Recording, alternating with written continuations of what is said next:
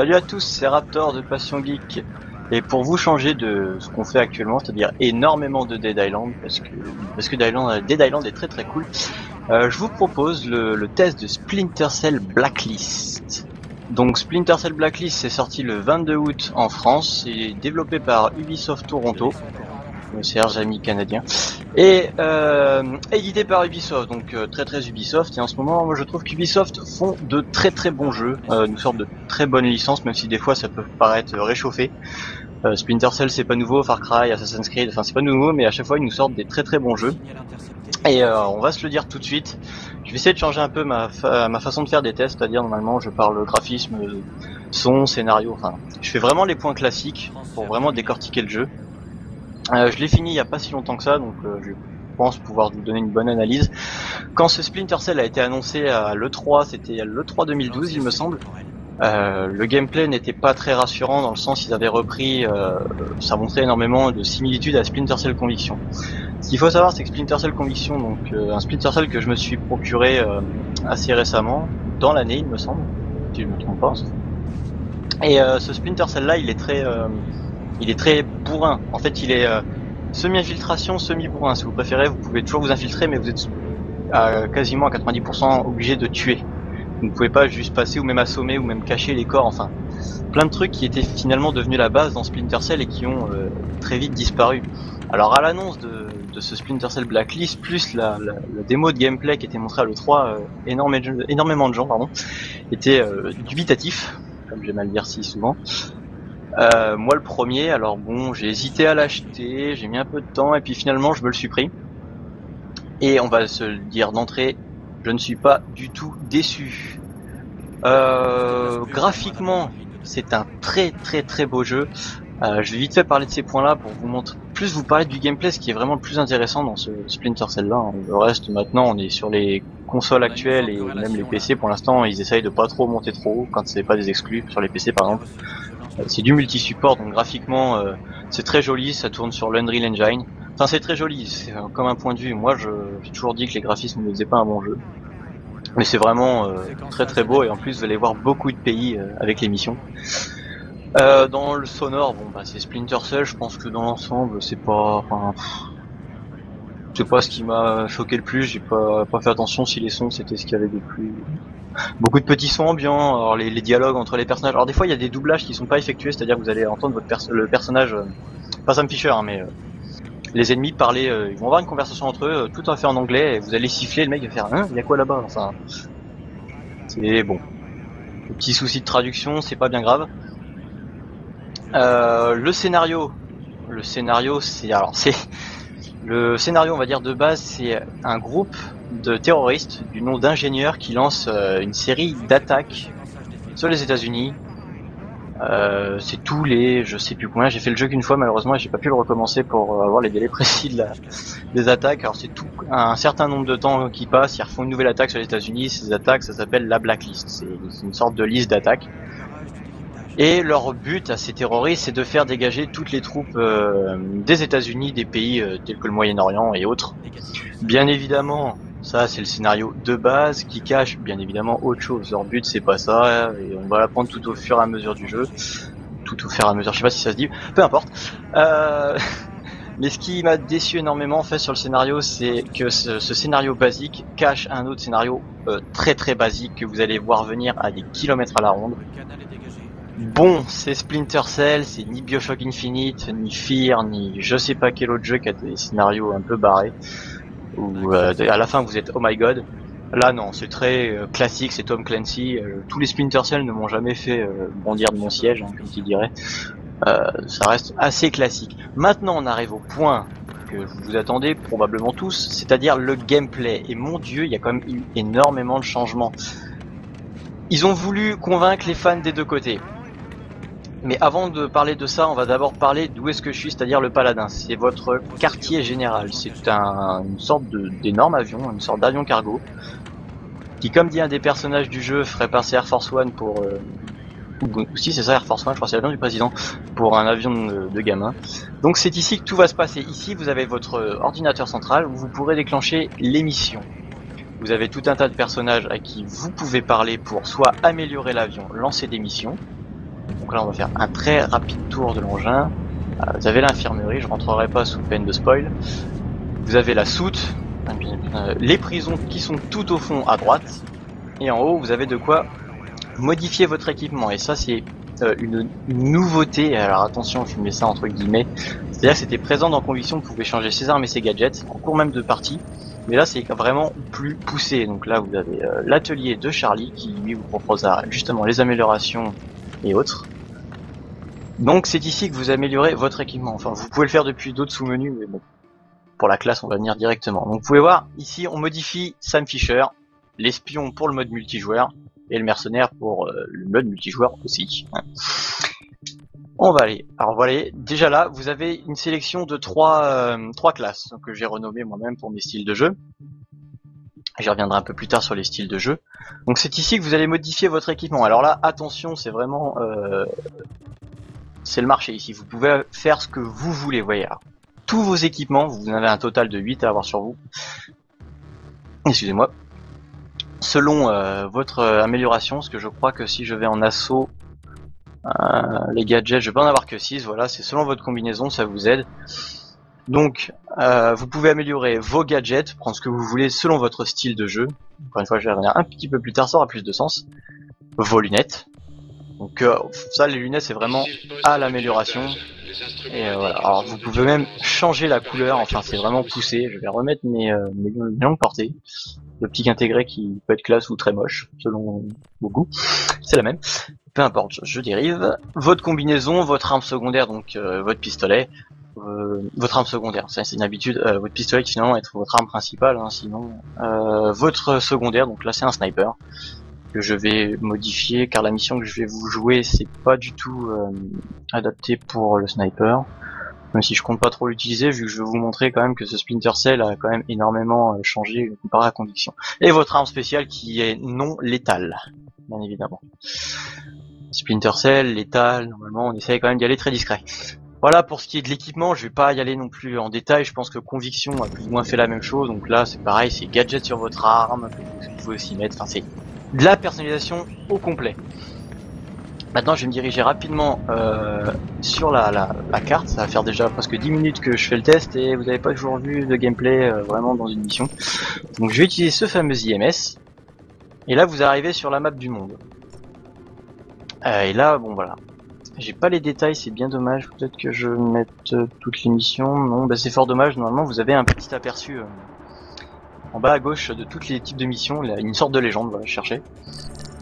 Donc les missions, les points bleus, c'est les missions des divers personnages dans l'avion. C'est les missions E4, E4 pour échelon 4 dans votre division. c'est pas en rapport avec, enfin, c'est en rapport avec le scénario solo, mais c'est des objectifs, des missions que vous n'êtes pas obligé de faire. Et toutes ces missions, et je dis bien toutes ces missions, se font, comme vous voyez, coop solo. Ça, c'est l'émission de Grim. Grim qui est là depuis le premier Splinter Cell. C'est des missions que vous pouvez faire soit en solo, euh, pour le, parce que votre ami n'est pas disponible ou quoi que peu importe, ou en coop et vous avez le, fameux personnage de Briggs qui a été mis dans les trailers euh, pour votre personnage secondaire, euh, votre personnage secondaire, votre ami coop quoi.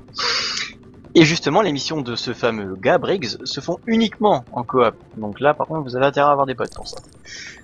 Euh, dans toutes ces missions, vous avez des objectifs secondaires, et même dans vos missions principaux, principales, principaux, je sais pas trop ce que je dis là. Je sais pas si c'est français.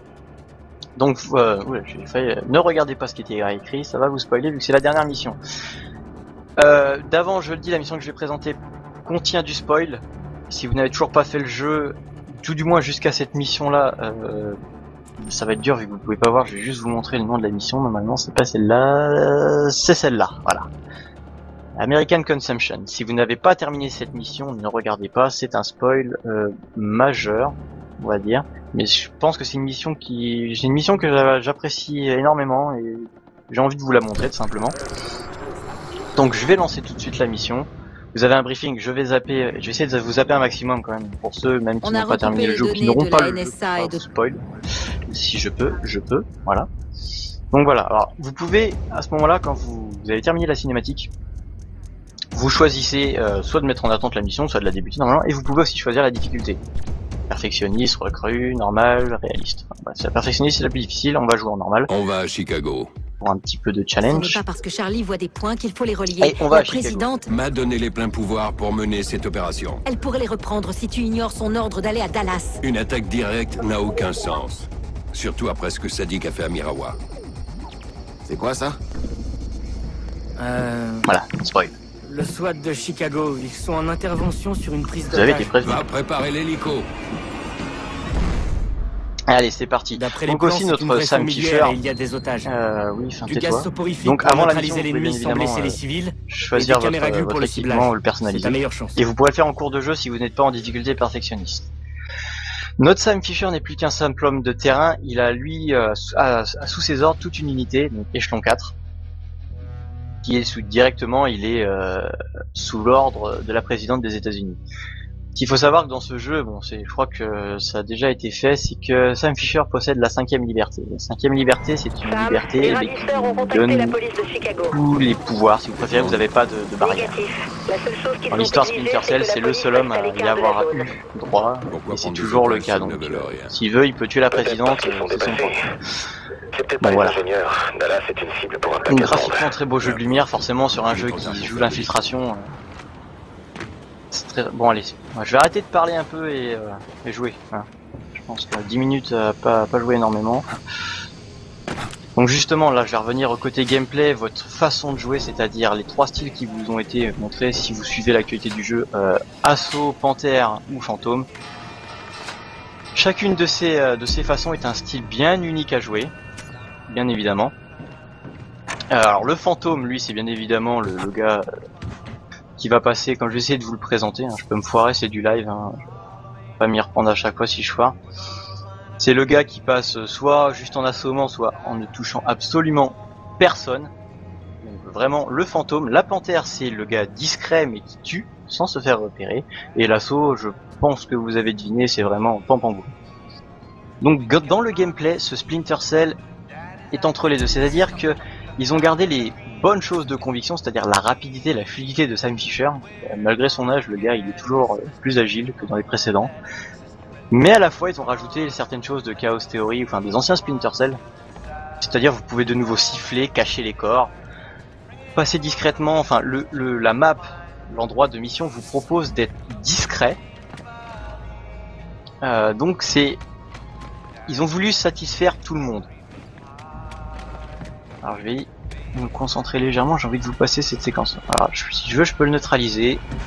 On va éviter ça. On va descendre discrètement. Vous voyez, alors vous avez votre petit radar aussi qui vous indique la position. Vous avez toujours la possibilité de marquer, démarquer.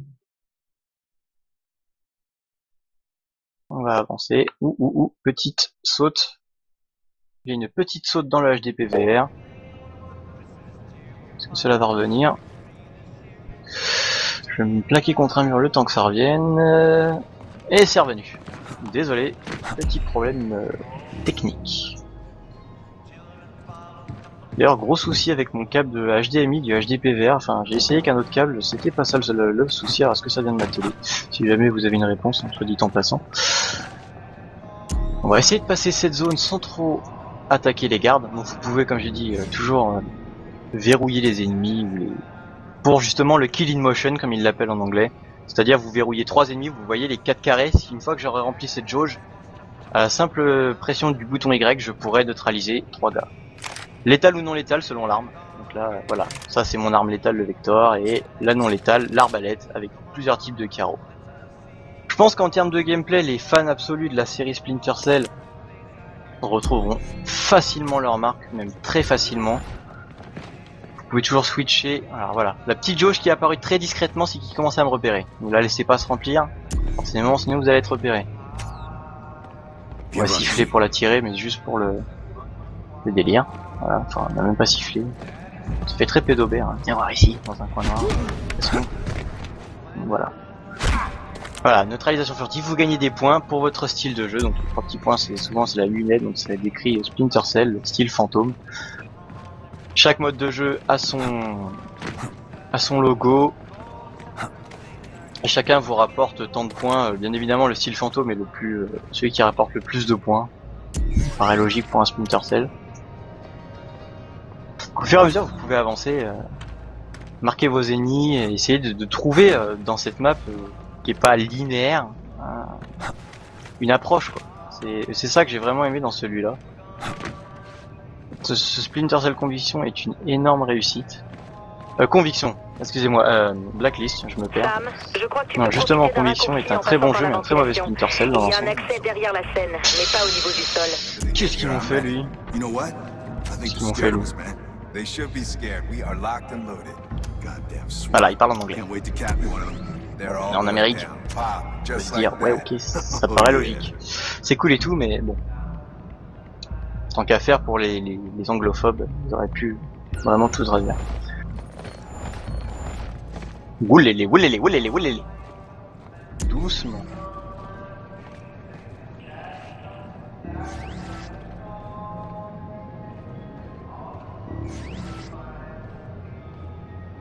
Allez, bouge. Oui, vous voyez, le, le petit marqueur au-dessus de ta tête est devenu rouge. Si j'appuie sur Y, je peux l'exécuter. Sans, sans, sans viser, ça va le faire tout seul. Mais bon, ça, on va le garder pour le style panthère ou assaut. Voilà, il a bougé. Je regarde mon radar, normalement ça devrait être bon. Normalement, lui il va revenir, je vais devoir l'assommer et après, je vais essayer de passer entre ces deux gars. Pareil, vous avez vos lunettes sonar de conviction hein, qui sont restées, vous, vous avez le choix. Alors, quelque chose que j'ai oublié, tiens, ça me fait penser. Alors attendez, je vais juste le neutraliser lui. Voilà. Quand vous appuyez sur le, le D-pad, la croix multidirectionnelle, voilà, vous avez tout votre inventaire, plein de gadgets. Bon, ça, je préfère vous laisser les découvrir et puis certains sont pas vraiment nouveaux. Alors vous voyez au centre de l'écran, il est marqué létal, non létal. En appuyant sur X, voilà, je passe au couteau plutôt que de frapper. Donc maintenant, on dit qu'un mec euh, s'approchera comme il a fait l'autre. Ça le tuera au lieu de. Pareil pour vos lunettes. Vous appuyez sur Y, c'est soit en sonar, soit en lunettes euh, nocturnes. Non, soit c'est juste une, un raccourci pour les consoles, ça. Parce qu'on n'a pas autant de touches que sur PC. Alors, alors, je regarde le mec, il n'est pas de dos. Faut juste aller, il y a une grille de ventilation ici ou une porte, je ne sais plus. On va essayer de passer discrètement. Puis je vous montrerai aussi hein, vite fait les différents styles de jeu, quoi, comme on peut approcher. Car avec ces, avec ces styles, vous avez vraiment une approche mais très différente. Quoi. Pareil, les animations euh, de Sam sont vraiment, euh, sont vraiment géniales. Oh, putain, il peut pas regarder ailleurs, même si ce serait cool. Voilà, c'est comme ça que Splinter Cell se joue, c'est vraiment à la patience. Ou alors vous pouvez rentrer dans le tas et tuer tout le monde. On va dire que j'ai d'autres gars derrière, donc... euh. Vite, vite, vite. On va fermer, pas qu'il soit Grim, je quitte la salle de suspicieux. réception. Voilà. Pouf. Toujours aucune trace des C'était otages quand même... euh. Voilà, vous gagnez des points pour les ennemis non alertés, donc euh, Tu penses que plus vous jouez discrètement et plus euh, On va le savoir. vous... euh, alors attendez ici... euh, on va descendre... Plus vous gagnerez... Euh, le- là, là, là, là, là, là, tu fais une faire repérer... Ouh là là là là là là Donc, plus vous jouez discrètement, plus vous gagnez de points. À la fin, vous aurez un, bien évidemment un total de points comme dans énormément de jeux à l'heure actuelle.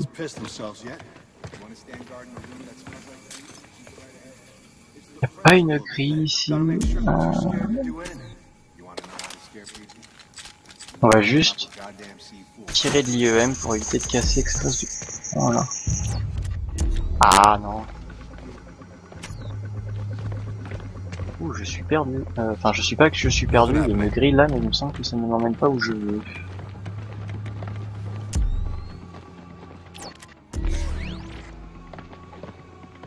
Ah voilà, ils sont suspicieux. Et c'est très très bon pour moi, j'ai l'impression, puisque...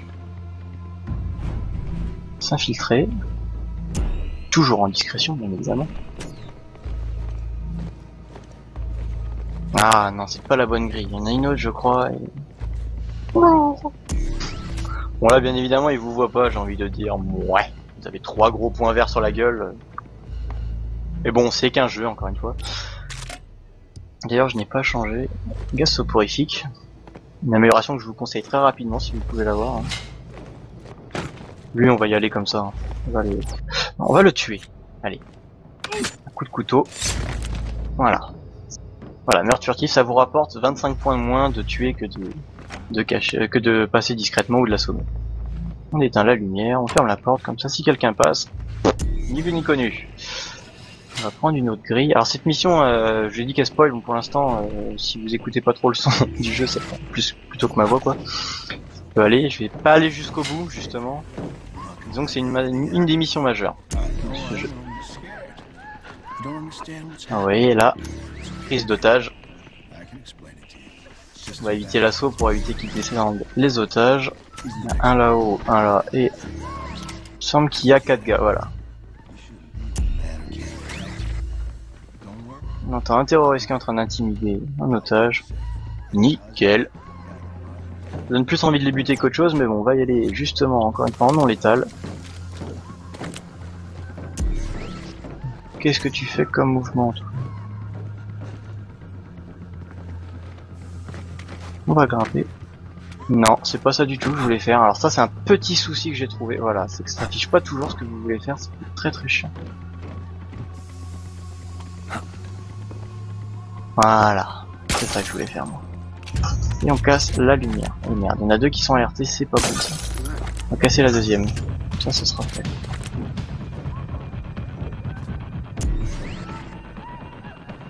Est-ce qu'il y a les deux qui se ramènent? Non, j'ai pas l'impression. S'il y en a qu'un, ça pourrait le faire. Bien. Très très bien. Pas bien du tout.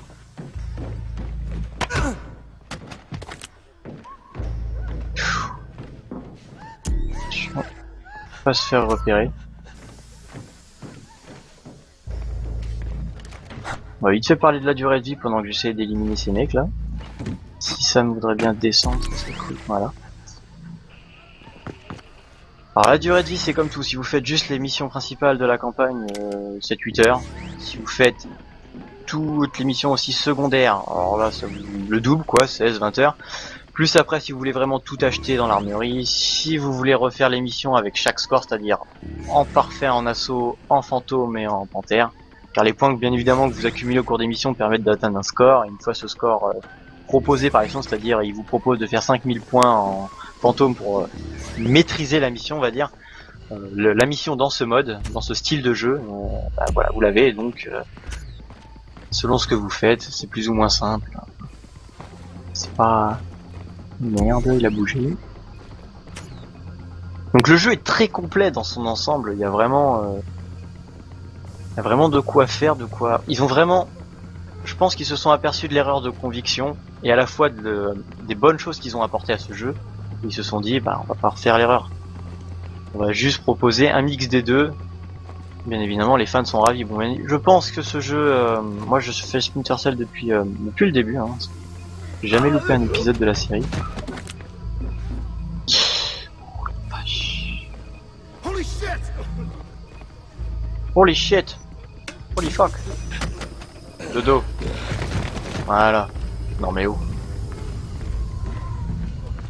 Otage sécurisé, pas de mort, nickel. Et on glisse tout en bas. Voilà, deux ennemis non alertés, c'est ceux que j'ai esquivés dans la, salle de bain, les vestiaires. Utilise les tuyaux au plafond pour avancer à couvert. Et là pareil, si vous jouez en assaut, mais rien ne vous empêche d'aller tout droit et de tuer tout le monde comme un barbare.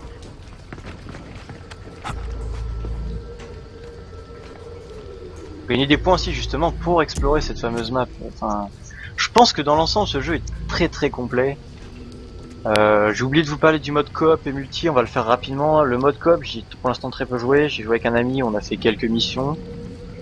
On a fait uniquement les missions coop, elles sont assez difficiles dans l'ensemble. Ça demande vraiment justement une bonne coopération et de jouer pas comme un bourrin.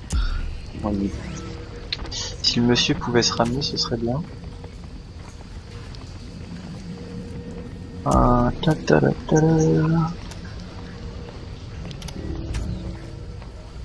Attendez, ah, je peux pas descendre. Si, je dois pouvoir lui faire ça, lui. Euh, Est-ce que je prends le risque? Non, je prends pas du tout le risque. Tiens, vous voyez, alors vraiment pour le fun. Voilà. Trois meurtres furtifs. On est juste en appuyant sur un bouton. C'est magique ce qu'on peut faire avec la technologie. Ah oui, dans ce Splinter Cell, j'en ai. C'est, je pense, une des nou... enfin, une nouveauté testée plus ou moins dans Conviction, mais là, il y a vraiment euh, un moyen de différencier. Il y a plusieurs différents types de- d'ennemis, de, classes d'ennemis, qui s'approchent bien évidemment différemment. Les soldats lourds, vous pouvez juste les les assommer par derrière, ceux qui sont vraiment mastoc, et souvent le gaz soporifique ou même les électrocuteurs ne leur font pas grand chose, voire rien du tout. Donc euh, c'est des ennemis qui sont pénibles, très pénibles. Donc il faut gérer avec ça. Il y a déjà plus cette, j'ai envie de dire cette liberté dans la map. Vous avez différents types d'ennemis. À vous de peaufiner votre approche, votre gameplay. C'est c'est ça que j'ai aimé dans ce Splinter Cell comparé à Conviction qui vous laissait vraiment quasiment un seul choix, c'est-à-dire rentrer dans le tas, furtivement ou non, mais dans tous les cas, ça finissait toujours par des, une pile de cadavres. Quoi. Donc, euh, bah, ce Splinter Cell, moi, il me, il me ravit. J'en suis très très très content. Oups, j'ai fait une erreur. Vous voyez, de justesse, je les neutralise. Une fois que la barre, euh, elle est, euh, alors il a arrêté de clignoter, donc là il aurait commencé à me tirer dessus, bah, c'était fini, j'aurais été repéré. Pour l'instant, je ne suis toujours pas repéré de toute la mission. Bien évidemment, si vous ne cachez pas les corps et que les ennemis les voient, ils vont passer dans un, une alerte un peu plus haut, ils vont, ils vont être différents de leur chemin de patrouille de base, beaucoup plus dur. Sinon, ils font vraiment des allers-retours euh, basiques.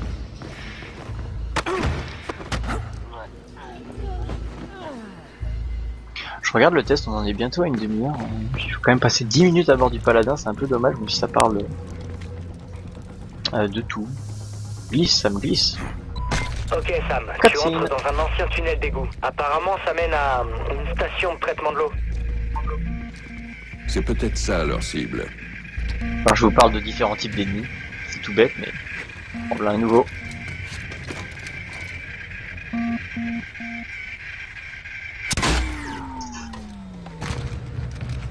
Tutoriel de cutscene.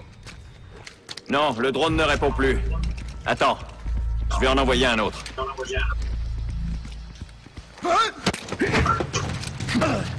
Tes petits copains visent la station d'épuration. Pourquoi Je t'emmerde. Mauvaise je vais te le dire. Une arme biologique. Ils vont répandre une maladie.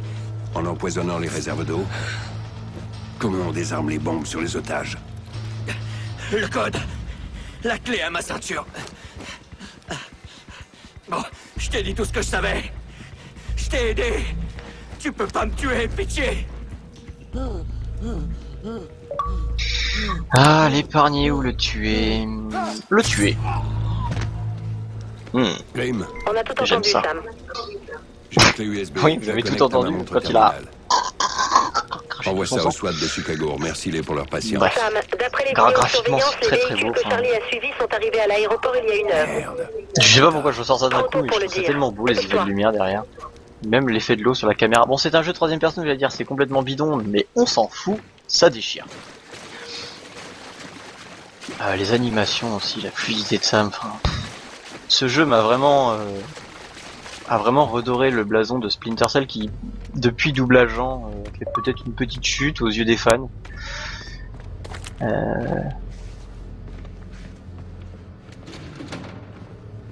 Je vais peut-être terminer cette section de la mission et j'arrêterai là, je pense, pour justement vous montrer le drone. Cette petite saloperie qui est là. Alors vous voyez, quand il y a un pilote de drone dans les parages, vos lunettes sont brouillées, donc il faut neutraliser le pilote de drone, plus ce fameux drone qui va vous Une fois, tu les neutralises. péter Et les plusieurs fois, tu dire comme ça. déclenches la charge explosive Eh qui ben, ça peut. euh, bon là, il y a un seul drone qui être Alors, easy, c'est vraiment très facile à esquiver. En plus, vous voyez, on a vraiment tout pour nous aider ici.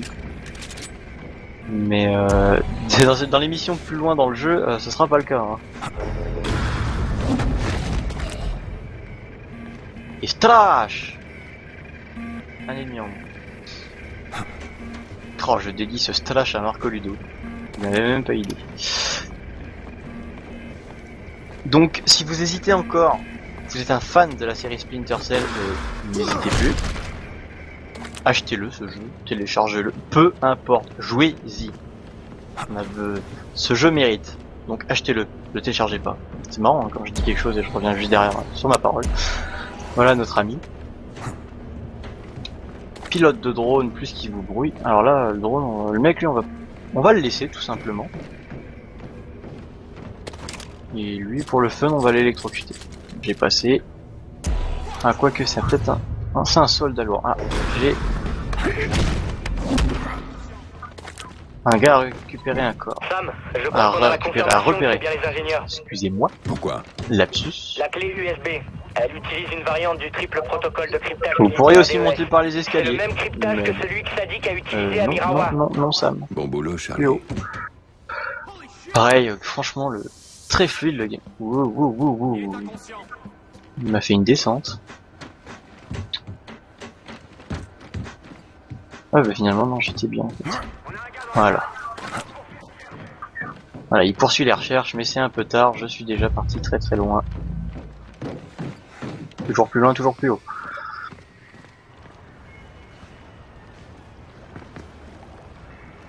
On va passer en létal, on va la tirer. What's that?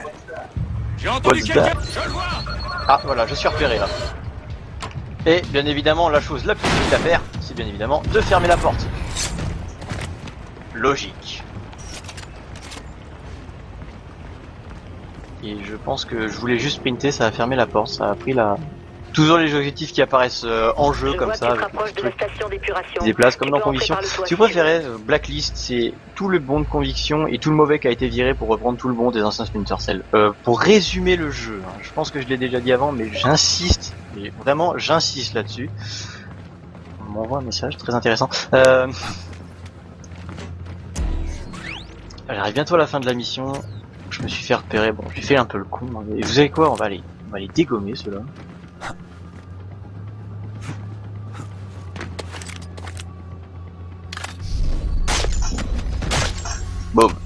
Voilà.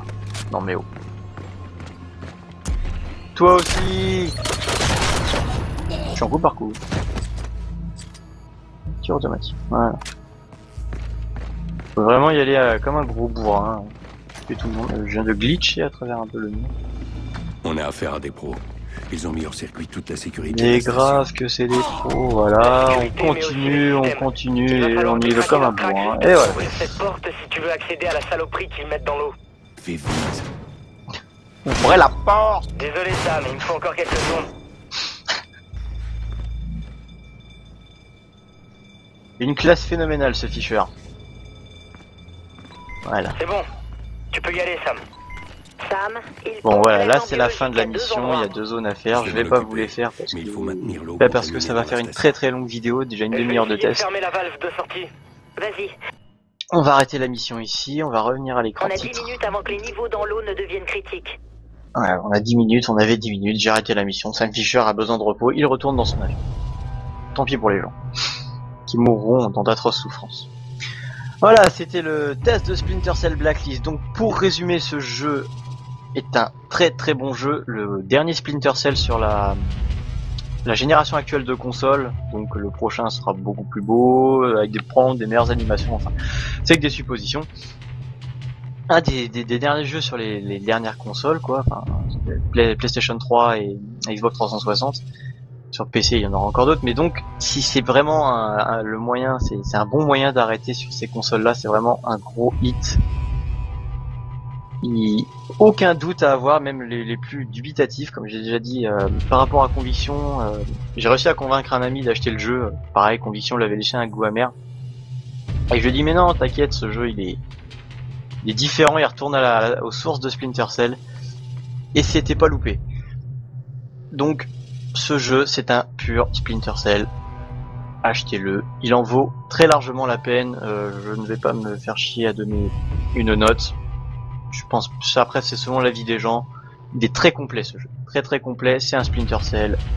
C'est du très bon. C'était Raptor pour Passion Geek et on se dit à la prochaine.